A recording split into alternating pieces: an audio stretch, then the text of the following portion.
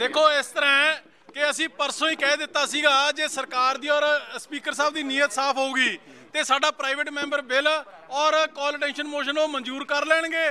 ਤੇ ਜੇ ਨਹੀਂ ਕਰਦੇ ਹੈਗੇ, ਤੇ ਮਤਲਬ ਇਹ ਹੋ ਗਿਆ ਕਿ ਇਹ ਸਰਕਾਰ ਪੰਜਾਬ ਦੇ ਲੋਕਾਂ ਦੇ ਨਾਲ ਨਾ ਹੋ ਹੋਗੇ। ਇਹ ਬਿਜਲੀ ਕੰਪਨੀਆਂ ਤੋਂ ਕਮਿਸ਼ਨ ਲੈ ਕੇ ਪੰਜਾਬ ਦੇ ਲੋਕਾਂ ਨੂੰ ਲੁੱਟ ਰਹੀ ਹੈ। ਸਾਡਾ ਜਿਹੜੇ ਇਹ ਬਿਜਲੀ ਦਾ ਮੁੱਦਾ ਹੈ, ਦੋਨੋਂ ਸਾਡੇ ਮਤੇ ਨੇ ਜਿਹੜੇ, ਉਹ ਇਹਨਾਂ ਨੇ ਰਿਜੈਕਟ ਕਰ ਦਿੱਤੇ। ਆਪਦੇ ਜਿਹੜੇ ਇਸ਼ੂਜ਼ ਨੇ, ਆਪਦੇ ਮਤੇ ਨੇ, ਉਹ ਲੈ ਕੇ ਆ ਰਹੇ ਨੇ।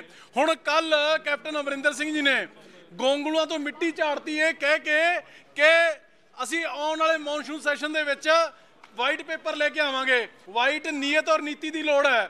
ਹੁਣ 6 ਮਹੀਨਿਆਂ ਦੇ ਵਿੱਚ ਹੋਰ, ਜਾਂ ਤਾਂ ਕੈਪਟਨ ਸਾਹਿਬ ਅੱਜ ਇਹ ਕਹਿ ਦਿੰਦੇ ਕਿ 6 ਮਹੀਨੇ ਅਸੀਂ ਹੋਰ ਬਿਜਲੀ ਦਾ ਰੇਟ ਨਹੀਂ ਵਧਣ ਦੇਵਾਂਗੇ। ਜਿਹੜੇ 1 ਜਨਵਰੀ ਨੂੰ 36 ਪੈਸੇ ਵਧੇ ਨੇ, ਉਹਦਾ ਵਾਧਾ ਵਾਪਸ ਲੈਨੇ ਆ ਉਹ ਰੋਕ ਨਹੀਂ ਰਹੇ ਹੈਗੇ ਤੇ 6 ਮਹੀਨਿਆਂ ਦੇ ਵਿੱਚ ਤਕਰੀਬਨ ਸਵਾ ਰੁਪਿਆ ਹੋਰ ਵੱਧ ਜਾਣਾ ਹੈ। ਹ- ਸੁਪਰੀਮ ਕੋਰਟ ਦੇ ਹੁਕਮਾਂ ਮੁਤਾਬਕ, ਇਹਨਾਂ ਦੀ ਨਲਾਇਕੀ ਮੁਤਾਬਕ, ਉਹਦੇ ਵਿੱਚੋਂ 6 ਮਹੀਨਿਆਂ 'ਚ ਹੋਰ ਕਮਿਸ਼ਨ ਲੈ ਲੈਣਗੇ ਤੇ ਪੰਜਾਬ ਦੇ ਲੋਕਾਂ ਸੇ ਰੁਪਏ 1.5 ਰੁਪਏ ਦਾ ਹੋਰ ਬੋਝ ਪਾ ਦੇਣਗੇ। ਸੋ ਇਸ ਕਰਕੇ ਸਿਰਫ ਔਰ ਸਿਰਫ ਲੋਕਾਂ ਨੂੰ ਬੇਵਕੂਫ ਬਣਾਉਣ ਵਾਲੀ ਗੱਲ ਹੈ। ਜਾਂ ਤਾਂ ਅੱਜ CM Sahib on the floor of the house Vidhan Sabha ਦੇ ਸਦਨ ਦੇ ਵਿੱਚ ਇਹ ਕਹਿ ਦੇਣ ਕਿ 36 ਪੈਸਿਆਂ ਵਾਲਾ ਵਾਧਾ ਵਾਪਸ ਤੇ ਜਦੋਂ ਤੱਕ ਵਾਈਟ ਪੇਪਰ ਨਹੀਂ ਆਉਂਦਾ ਹੈਗਾ, ਉਦੋਂ ਤੱਕ ਅਸੀਂ ਹੋਰ ਕੋਈ ਵਾਅਦਾ ਨਹੀਂ ਕਰਦੇ ਹੈਗੇ।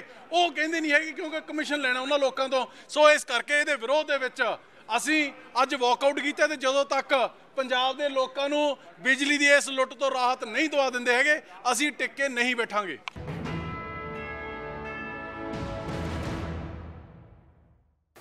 4 ਲੱਖ ਤੋਂ ਵੀ ਘੱਟ ਖਰਚੇ ਜੇਕਰ ਤੁਸੀਂ ਜਾਣਾ ਚਾਹੁੰਦੇ ਹੋ ਕੈਨੇਡਾ ਜਾਂ ਯੂਕੇ, ਆਇਲਸ ਨਾਲ ਜਾਂ ਬਿਨਾ ਆਇਲਸ ਤੋਂ। ਇੱਕ ਵਾਰ ਫਲਾਈਰਾਈਟ ਵੀਜ਼ਾ ਕੰਸਲਟੈਂਟ ਦੇ ਲੁਧਿਆਣਾ ਆਫਿਸ ਜਾਂ ਚੰਡੀਗੜ੍ਹ ਆਫਿਸ ਆ ਕੇ ਮਿਲੋ ਜਾਂ ਸਾਨੂੰ ਕਾਲ ਕਰੋ 9815 08585 ਤੇ। Thank you